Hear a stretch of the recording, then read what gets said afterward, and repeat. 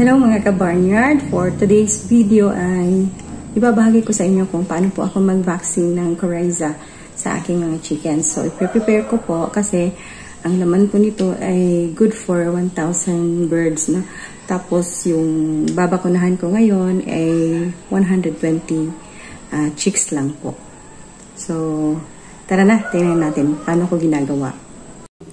Ito po ang aking mga alagang Rhode Island Red. Gusto ko pong masiguro ang kanilang kalusugan sa pamamagitan ng pagbabakuna. Araw na to, ang schedule na bakuna nila ay yung Coryza. Ito po ay upang maiwasan ang sakit na Coryza na namiminsala ng mga manukan sa ating bansa. Mas mabuti po ang prevention kaysa naman magbibili pa tayo ng gamot para lang itreat ang Coryza. Ito pala ang Coryza vaccine na aking nabili. Ito ay good for 1,000 birds po. Nakasaad po sa label dito na 0.5 cc ang ibibigay mo sa bawat manok. Medyo may kamahalan lang ang vaccine na ito kasi nagkakalaga ito ng mahigit 2,600 pesos ang isang bote. Maaari mo naman itong imbak sa ref kung hindi mo maubos. Hindi katulad ng mga live vaccines na kapag nagamit mo ay kailangan mo na talagang itapon matapos ang tatlong oras na preparation. Madali lang naman po siyang i-administer. Ituturok nyo lang po sa breast muscle around the breastbone.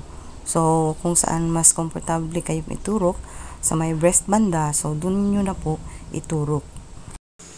Ito po ang aking alaga na nabulag ng dahil sa coryza. So, tingnan nyo ang kanyang mata. Hindi na po siya nakakita. No? Ang bacteria na nagkukos ng coryza ay Haemophilus paragalinarum. Ang coryza ay nagkukos ng inflammation ng mga nasal passages, sinuses, and infraorbital mucosa. Ito po ang dahilan ng pagluha-luha ng mga mata ng ating mga manok, sipon, at kung gumrabi naman ito ay nagkukos siya ng pagkabulag ng ating mga manok.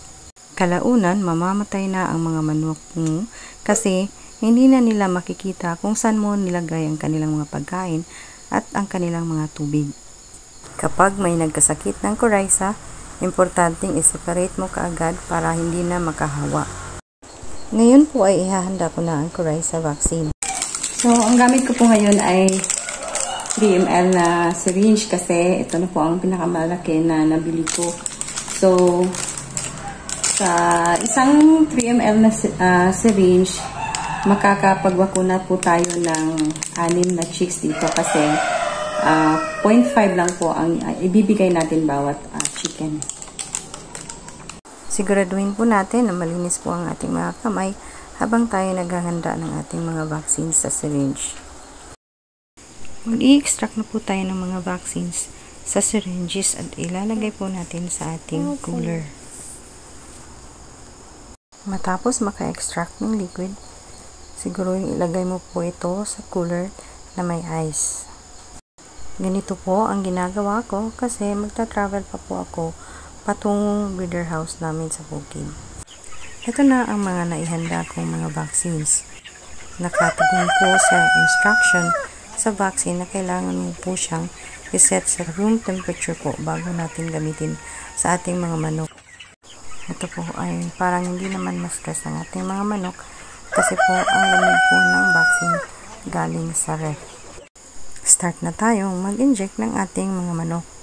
Unang-una ay tingnan mo kung walang sakit ang iyong manok. Pagkatapos ay hanapin mo po ang breastbone nila. Pag nakita mo na ang breastbone, pwede ka nang mag-inject sa mga muscles na nasa gilid nito. Intramuscular injection po ang gagawin natin sa ating coryza vaccine. Pwede din po sa likod ng kanilang lieg. Dito po sa may likod ng kanilang mga lieg. Pero ako, mas prefer ko ang breast muscle kasi malaki siya at madali lang po siyang ilocate.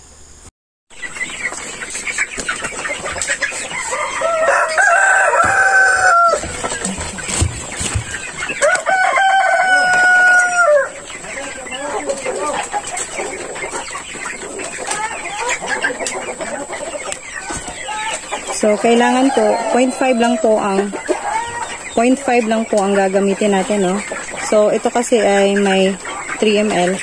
So, kailangan, ang unang dose mo is 2.5 na lang hanggang 2.5 kasi 0.5 lang ibibigay natin. Tapos, magpapalit na naman tayo ng needle. Saka tayo mag-inject para hindi po magka-transfer-transfer pag may sakit po ang isang manok sa isang manok. Okay? So, start tayo.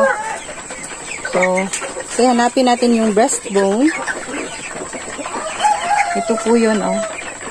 So, pag mag-inject tayo, no, IM, sa my breast. So, ganyan. Isip mo lang. Tapos, i-push mo hanggang 2.5.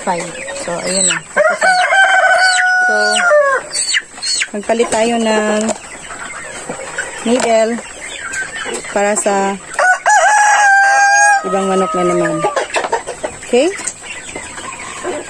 So, uh, dapat i-separate mo din yung navaksinan mo na na manok para wag naman magka-double-double dose. So, kaya ngayon, sineparate namin yung na-injikan na at saka yung hindi pa na-injikan. Okay. So, try natin sa may liig banda, no? Sa likod daw po ng liig. Yun. Hindot yun. Ayan. So, pag dito naman, hindi dapat IM, subcutaneous lang. So, medyo slanting lang po tayo dito.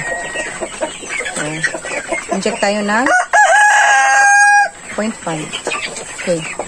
Yeah. So, ayun na. Ganun na lang.